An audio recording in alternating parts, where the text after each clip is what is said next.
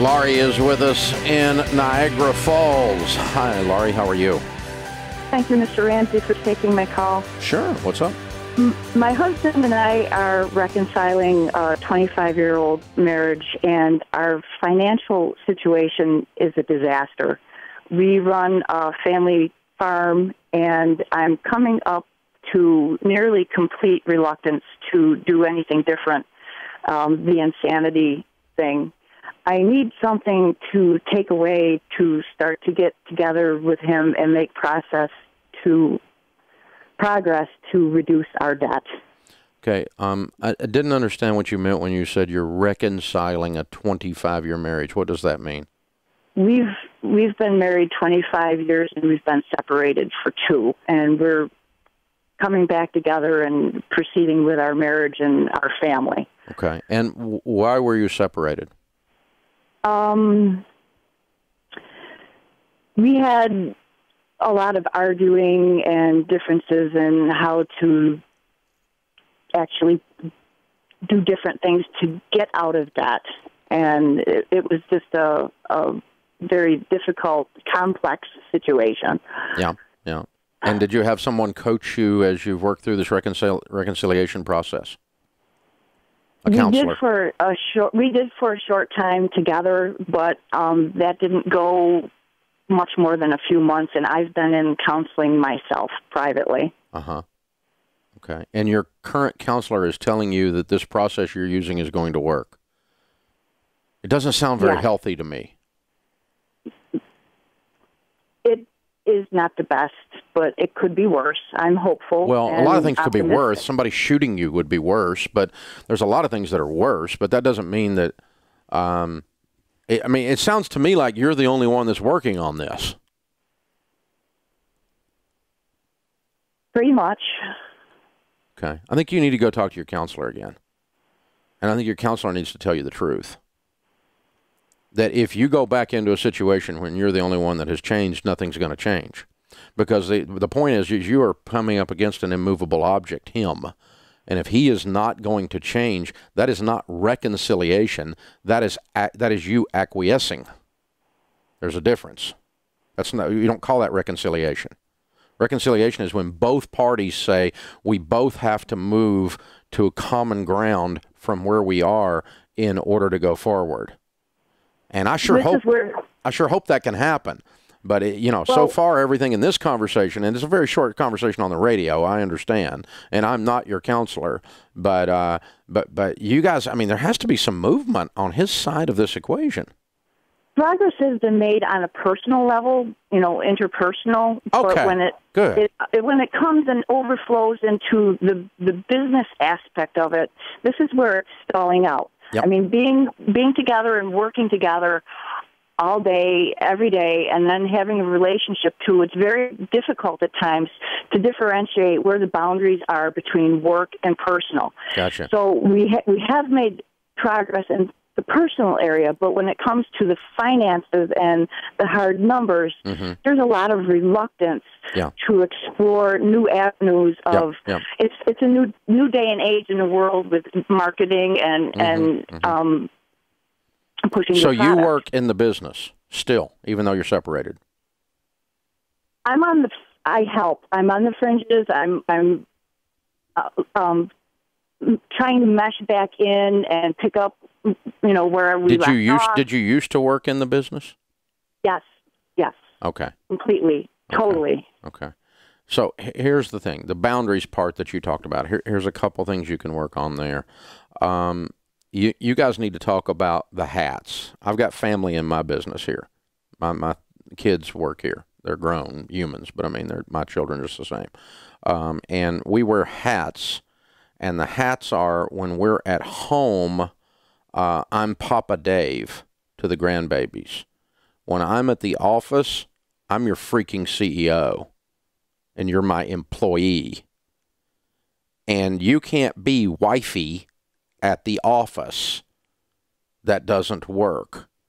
And he can't be husband at the office because you're disrespecting the CEO of the organization and he can't lead and he can't make decisions if you're playing wifey at the office. But can a wife work in the office? Absolutely. But if you're the marketing director, you report to your CEO. And if you're the CEO and he's the marketing director, he reports to you.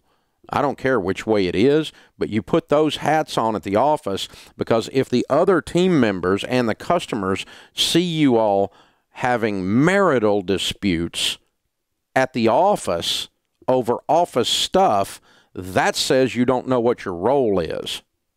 And family business disintegrates into a toxic cesspool. Does that sound familiar at all? Yes.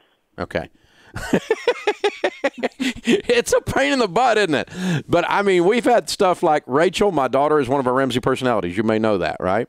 And, and and Rachel is very opinionated, which makes her a great speaker and writer and so forth. You need to have an opinion, uh, and and yet she works here. Christy Wright's a Ramsey personality. When we're in a meeting with ten of us working on the launch of Christy Wright's book, and I say something, Christy Wright does not roll her eyes she's a she's an employee of mine. I'm the CEO, right? Mm-hmm. But Rachel Cruze might have been known to do that once. Can you imagine?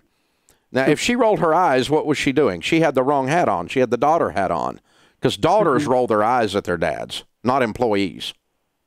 You know what I'm saying?